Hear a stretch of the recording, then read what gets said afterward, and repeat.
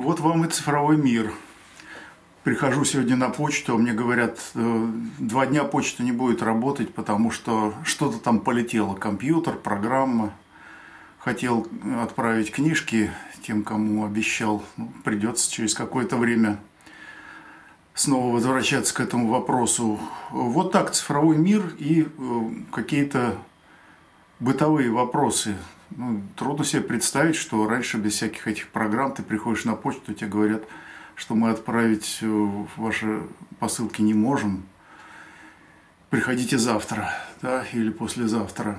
А цифровой мир предполагает вот такие локальные, а возможно, изредка и глобальные катастрофы, связанные с тем, что занимаются этим, в общем, не профессионалы. Для того, чтобы какая-то система глобального обслуживания работала бесперебойно, нужны годы отработки э, универсальной программы, единый центр, который всем этим делом управляет. А у нас то, чем занимается Путин и его компания э, с искусственным интеллектом в голове, ну, кроме как э, глобальных катастроф, в общем, нечего от них ждать. И их цифровой мир – это только борьба за власть, все остальное очень сомнительно, очень сомнительно. Каждая администрация там своих программистов нанимает, э, и ну, недавно было, например, что отключилось, на много дней отключилось программное обеспечение у гаишников московских. Это происходило долго, много дней. Но если бы действительно такие задачи ставились перед профессионалами, а там ведь откаты до 90%. Это известная вещь, что программистов вроде бы как дефицит, но э, чиновник определяет, какой из программистов будет работать над этой программой.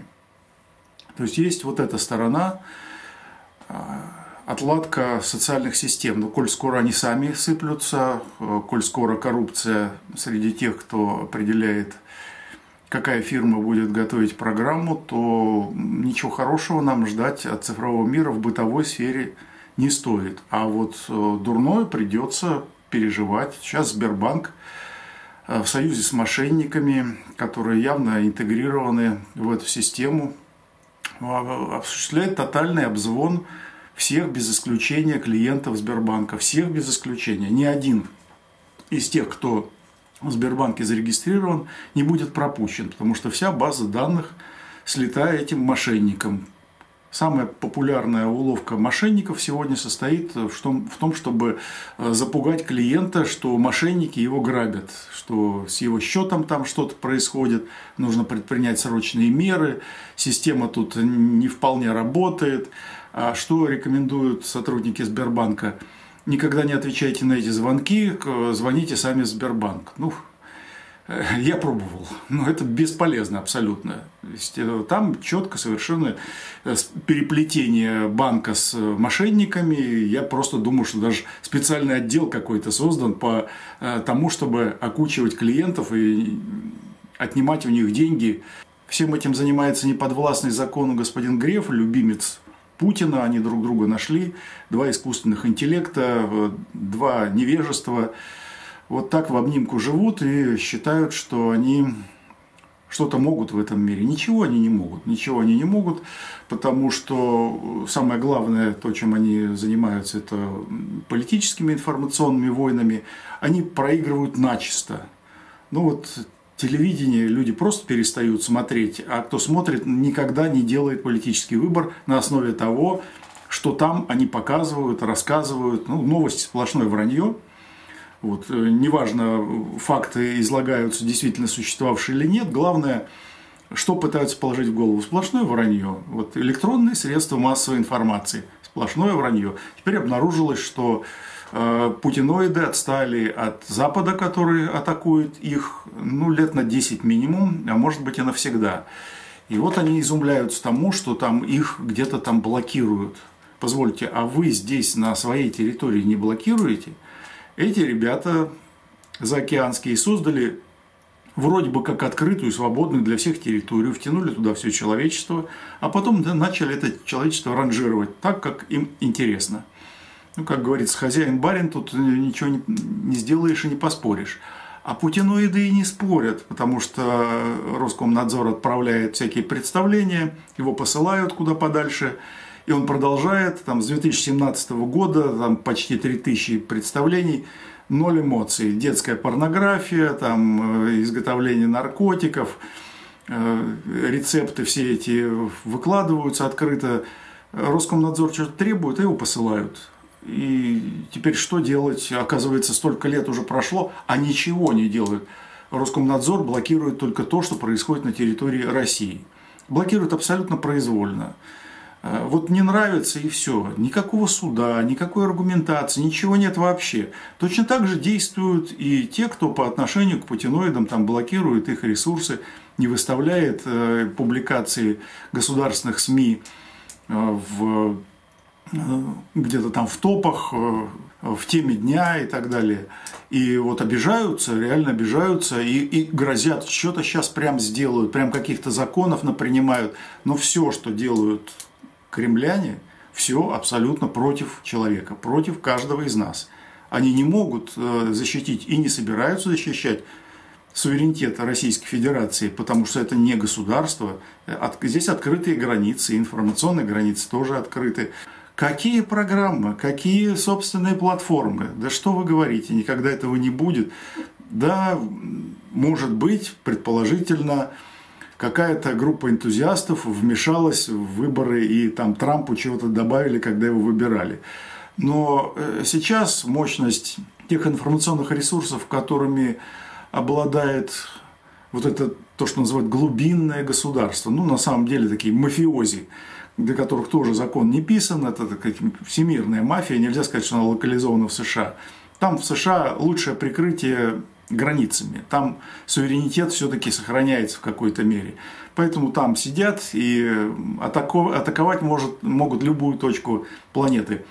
Праймерис собирается проводить э, Единая Россия. То есть голосование среди своих только кандидатов. Это незаконное деяние, оно не предусмотрено никем и ничем. А это связано с избирательной системой, то есть заранее предполагается обман избирателей. Э, заранее еще задолго до избирательной кампании она начинается только у этой партии. И голосование для граждан ведется на государственных ресурсах.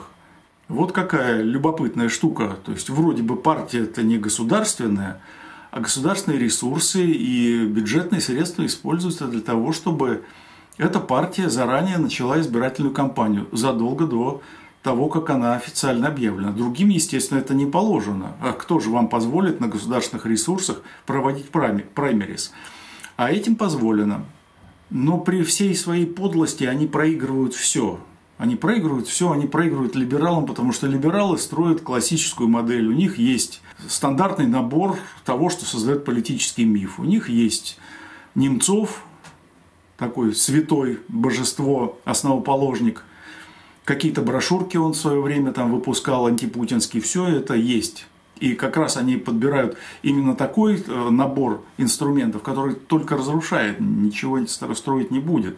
Это принцип либералов и, и вообще всех левых сил. Либералов надо правильно называть левые, они правыми быть в принципе не могут. Правые – это консерваторы, традиционалисты, националисты, но либералы – это левые. И вот у них есть э, святой Немцов, у них есть великий вождь и страдалец Навальный, и у них есть э, мифологемы, мифологема свободы. Вот мы все за свободу, остальные нет, поэтому мы правы, они нет ну, свобода что-то абстрактное, а вот за честные выборы это, это конкретно. Честные выборы, умное голосование, в результате которого э, значит, такие же левые отморозки, только из КПРФ, э, получают должности. И, кстати, либералы в Москве там якобы по умному голосованию что-то там выиграли где-то в муниципалитетах, обосновались. Что-нибудь изменилось? Ни в малейшей степени. Ни в малейшей степени. Так поначалу казалось, что эти люди что-нибудь значат, на самом деле они вписались в систему. Вот. Э, но либералы проникают, проникают в эту систему, и система будет разрушена. Несомненно, путинщина будет разрушена. И слава богу, говорим мы, русские люди, националисты, пусть они грызут насмерть эту систему, и пусть э, эта система их грызет насмерть, чем отчаяннее они друг другу будут грызть глотки, тем легче будет нам. Но в плане цифрового мира мы, конечно, проигрываем и погружаемся в пропасть. Вот, поэтому от цифрового мира нам придется отказываться. Вот там на Ютубе блокируют, скажем, не, не дают развиваться моему каналу. Это я совершенно четко вижу. Фальсификация посещаемости, блокирование, э, роста аудитории и так далее. Ну, то есть меня тоже рассматривают как врага, там слово русские, там, русские новости я пишу. А туда нельзя, например, э, подгрузить еще какое-нибудь э, какое видео э, из другого канала, где я бы я выступил и хотел бы сюда же поставить. Слово русский дискриминируется, дискриминируется. Поэтому я буду впредь публиковать свои видеоролики в плейлисте насущные. Вот, потому что туда можно подгружать ролики из других каналов, а сюда вот нельзя. Сюда нельзя, слово русский заблокировано, заблокировано, чтобы вы знали. Владельцы Ютуба, Фейсбука, в Фейсбуке заблокировали окончательно нашу группу только русские, ну там десяток страйков и заблокировали. Все, я там послал возражение и знаю, что на него никто даже отвечать не станет. Вот, то есть это абсолютные враги, они враги путинские, но они и наши враги. Они больше им навредят, чем нам, потому что нам просто не дают вырасти даже здесь. Путинщина нам тоже такой же враг, как и вот эти фейсбуки с ютубами. И наше дело, конечно, создавать какие-то свои инструменты. Мы пытаемся это сделать и приглашаем программистов к тому, чтобы совместно создать эти инструменты. Кто действительно считает, что способен этим заниматься, кто профессионально подготовлен именно как программист, того я приглашаю к сотрудничеству. Мы такую группу создаем сейчас и планируем, чтобы она до конца года уже какой-то продукт выдала. Не буду говорить конкретно и вообще ничего конкретного об этом говорить публично не стоит и не надо. Поэтому те, кто будет обращаться, мы еще сто раз проверим, насколько они с нами, насколько они наши. И степень погружения в проект будет контролироваться и не будет для всех одинаково. Если человек готов работать вот в таком режиме, то есть в режиме ограниченного доверия поначалу, пока нет каких-то отношений, которые или нет оснований для того, чтобы доверять безраздельно и полностью – то мы тогда в одной команде сможем работать. Если человеку нужно, чтобы он все знал досконально и все детали были сразу у него перед глазами, ну тогда, извините, до лучших времен. До лучших времен или до, до того момента, когда мы увидим, что этот человек действительно достоин такого безграничного доверия. Иначе все разломают, потому что привычка ФСБшников внедрять всюду своих негодяев. Вот, они отравители, убийцы и разрушители всех социальных систем.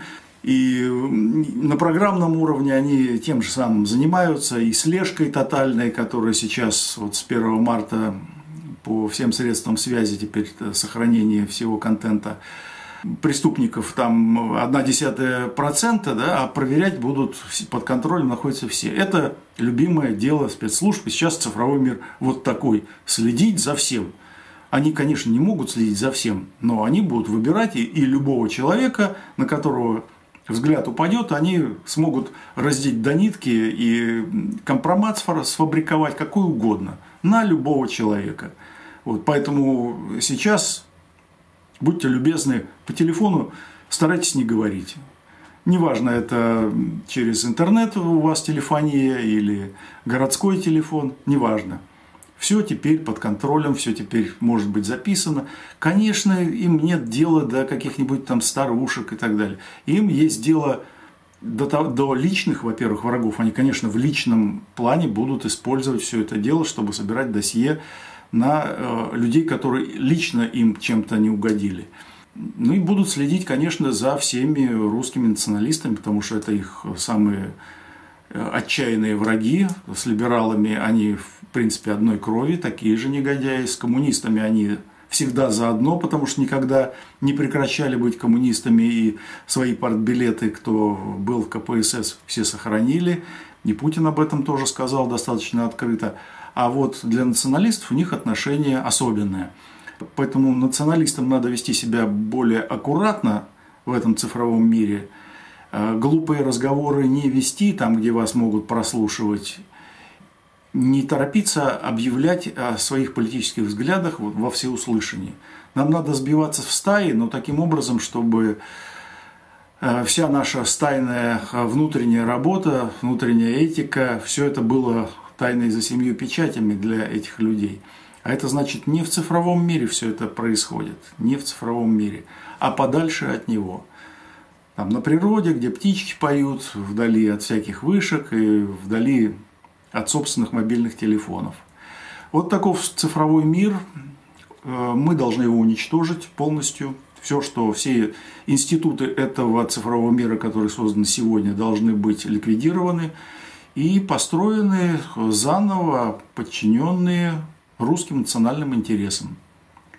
В таком случае суверенитет России будет восстановлен, сейчас его нет вообще, но нам придется рано или поздно его восстанавливать, поэтому от этого цифрового мира нам надо держаться подальше и потихонечку выстраивать свой цифровой мир, параллельный этому и с ним не пересекающийся.